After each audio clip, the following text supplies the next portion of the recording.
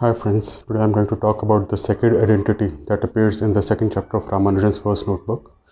The identity states that natural log of 2 is equal to 1 plus 2 upon 2 cube minus 2 plus 2 upon 4 cube minus 4 plus 2 upon 6 cube minus 6 ad infinitum.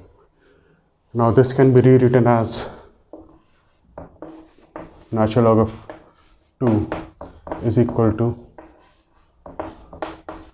half plus plus 1 upon 6 cube minus 6 so on ad infinitum right. Now this expression over here we had already seen our in our previous video upon the upon uh, on Ramanujan's first identity of second chapter of first notebook that this expression over here is equal to sum of k equal to 1 to n of 1 upon n plus k right so i can replace this by this particular expression over here. So this becomes 2 natural log of 2 is equal to 2 limit as n approaches infinity of k equal to 1 to n of 1 upon n plus k. Now i have a term in the sum which is dependent upon the index and the limiting variable so i can always regard this as a riemann sum right? And further convert that riemann sum into a, a definite integral of some particular function fx defined upon over an interval a b where a and b are nothing but some real numbers right? So this particular expression over here can be rewritten as 2 k equals to 1 of 1 plus k dot 1 upon n dot 1 upon n. Now my aim over here is to find this interval a b and the fun- corresponding function fx.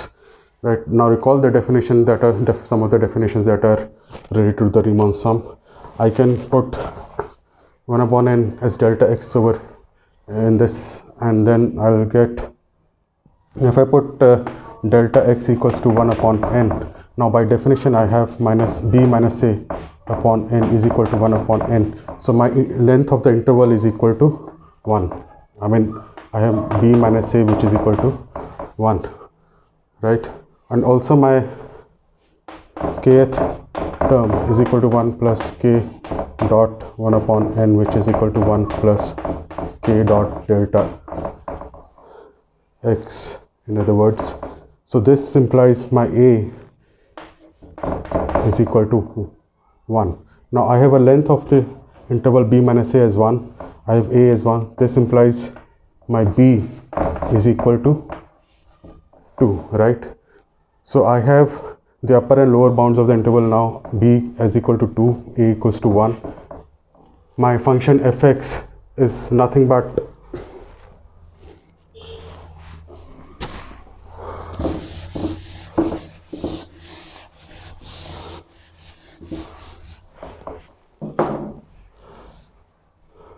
my function fx is nothing but 1 upon x right?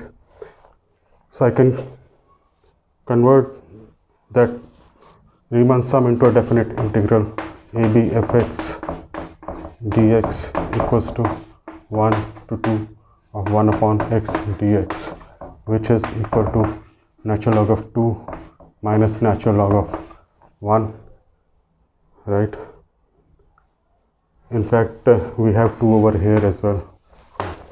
Right? So this gives me 2 into natural log of 2 minus natural log of 1 which is equal to 2 natural log of 2 right? So this is one of the proofs of ramanujan's second identity that appears in the second chapter of first notebook. Right?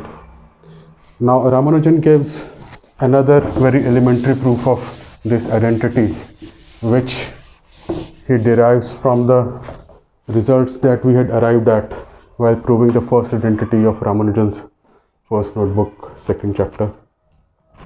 So, this particular, while proving this identity, we had arrived at this particular result k equals to 1 to n of 1 upon 2 n minus 1 minus k equals to 1 to n upon upon 2n.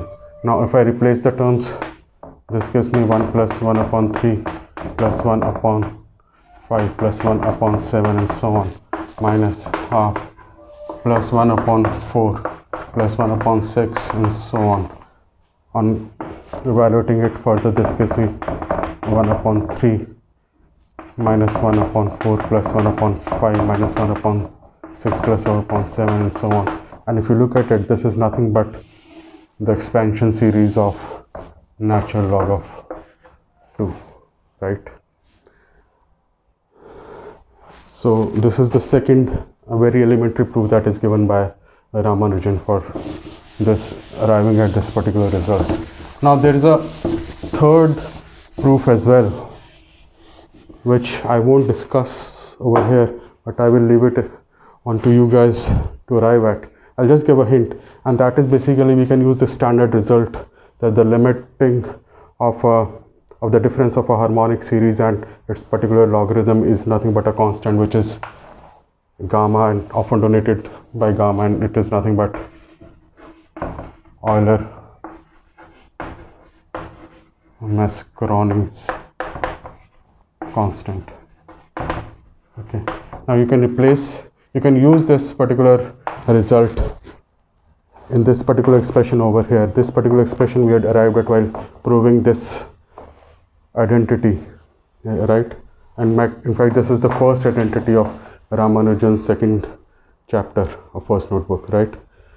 So while proving this identity, we had further arrived at these two results, right? Intermediate results. So I can plug in this particular constant in this particular expression and then arrive at this result.